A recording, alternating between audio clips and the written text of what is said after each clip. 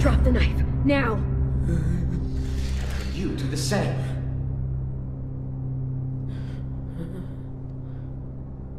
We're not gonna hurt you. We've got your boy, he's safe. If you want to see him again, you'll drop that knife. Now.